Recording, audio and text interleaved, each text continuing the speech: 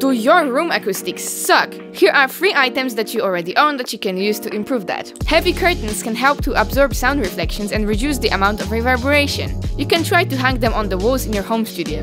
Room dividers can be used to create a semi-enclosed space in a larger room. This way you get a more controlled acoustic environment for recording by reducing the amount of reflections and reverberation. Bookshelves filled with books help to absorb sound reflections and scatter sound waves, which can help to create a more even frequency response in your room. Also, books make you smarter, so it should be good to read something from time to time, you know?